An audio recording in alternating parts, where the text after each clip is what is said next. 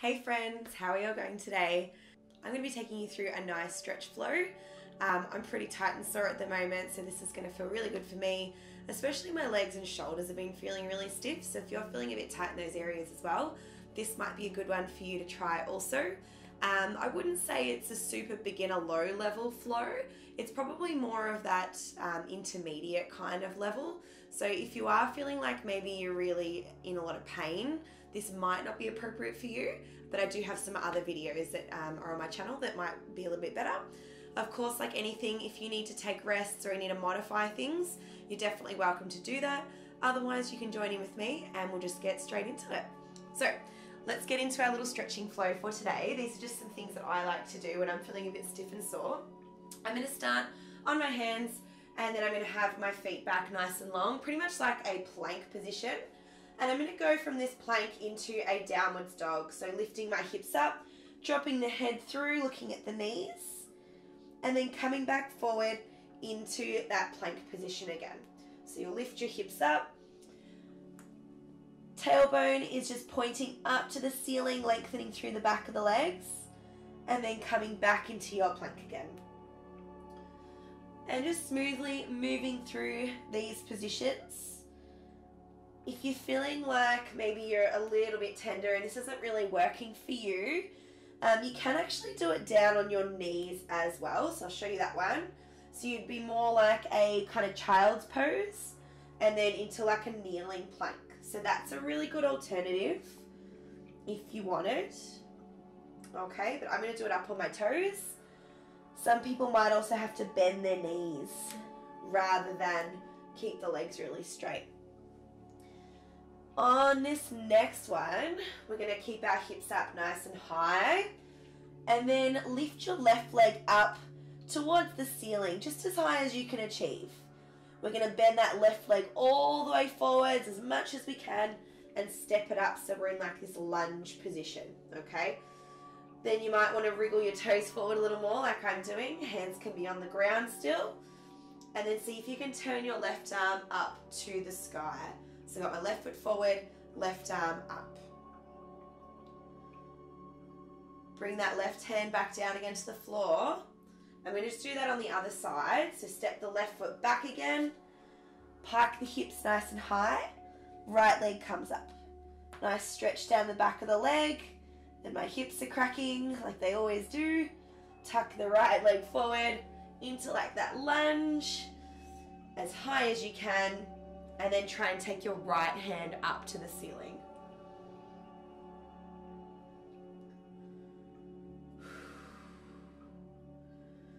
Beautiful, guys. We're going to do both of those again. So each side again, both hands back down. Step the right foot back. Nice little pike. And then left leg up. Second round. Left leg high. And then bring that left knee all the way forwards into that lunge. And bring your left arm up getting a nice twist here. I'm not a yoga instructor, so I don't know what this is called in yoga. This is just uh, the Steph version of it. Then you're going to bring your hand down, left leg back up, and into your pike. And then right arm, let's even out over to the other side. Right leg up. We're going to come off the hands soon, okay? Tuck that right knee forward into your low, your lunge.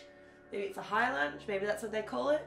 And then bring your right arm up to the sky, getting a stretch, twisting your spine. Beautiful. Whew. And coming back into the center, stepping those feet both back and then bring your knees down. Awesome.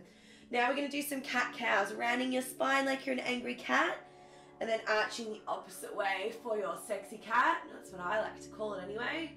Rounding up, angry cat, and other way for your sexy cat. Nice deep breaths, of course, just moving through your spine. Should feel kind of good. Maybe you want to wiggle in certain spots. Feel that nice stretch through your body. Good. We're just going to do a couple more here for our cat cow. Beautiful work. And three, two, and one. Good. You're going to sit on your bottom next. Okay. So on your bum, I'm going to face you guys so you can see me. Bring your hands just behind you and your legs bent up in front. And all we're going to do is rock our knees across to one side like a little windscreen wiper. Then rock your knees across to the other side.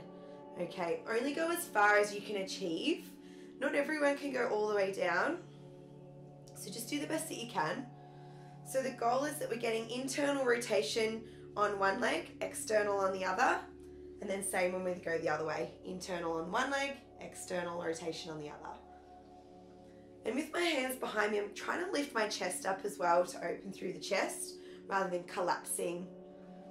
Good. Now, if you're feeling like you're actually all right with this movement, you might want to try level two. So maybe you want to join me. Level two is hands away and in front that might be a little bit tricky. So if that's not for you, pop your hands back down. It's a little bit sticky. So it's more like an active mobility, I think you'll find. 10 more seconds. Don't mind me making my funny faces while I slowly struggle and my mat folds up underneath me. we're gonna do a couple more. Then we're gonna hold our legs across to one side. You've got four, three, two, and hold your knees across to your left side. So both knees are pointing to the left. And then all I'm gonna do is try and turn my body the opposite way. And it's a bit sticky. Um, my hips are, they're a little bit stuck, they're a little bit tight. My spine as well is feeling really tight. Good, and just look over that shoulder if you can. Good. Nice deep breaths. Oh. And then let's turn over to our left where our knees are pointing. See if you can crawl your hands out away. And maybe you can lie down, maybe you can't, but just do the best you can. Again, it's a really nice spine stretch. It's a good way to just kind of find those different positions. We're going to go over to the other side. So you'll need to crawl your hands back in and then bring your hands behind you.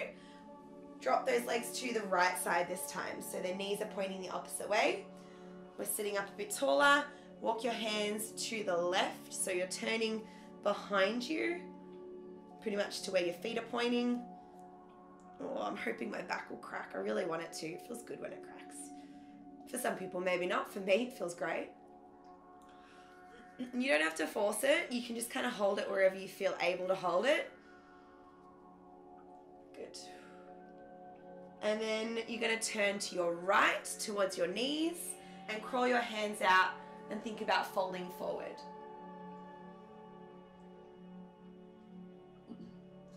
You can just hold it there, nice deep breaths, nice and chilled. Think about what you're gonna have for breakfast, lunch, or dinner, whatever, whatever you're gonna eat. I think I want to have a crumpet. We've got three, two, and one. Coming back up, we're gonna do just one more. So if you can now sit your legs pretty much nice and wide, like you're in like, I don't know, a pancake split, side split, whatever they call it. Um, see how far forward you can get your hips. You might not be able to do it as far as me. And we're gonna start leaning side to side. So I'm gonna lean over to my right first, bring my hand down, reach overhead. And then I'm gonna go the opposite way. Bring my left hand down and reach overhead. So just working those ranges that you're feeling able to achieve. You can sort of play around with it a bit where you reach to your hand, or your hand, your foot, and then reach to the other foot. I hope you guys understand um, my instructions.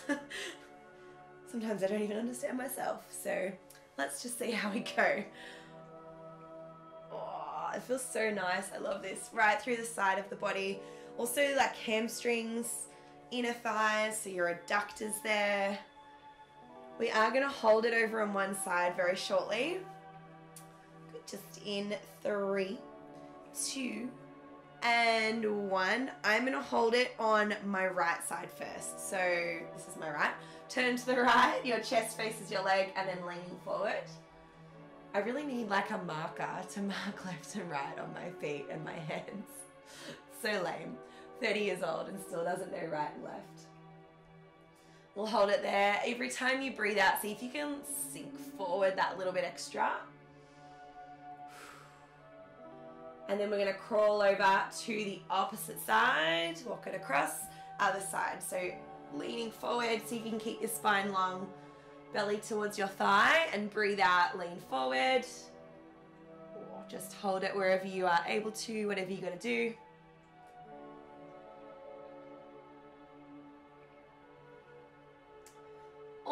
There. We're gonna do one more um, down the center. Up. See if you can lean forward down the middle, okay? So let's come back to the middle now and see if you can crawl your hands forward. Reaching forward as far as you can. Maybe you can touch the floor with your head or your chest or maybe uh, just your hands. Whatever you can do. Wriggle around if that feels good. I like to wriggle around.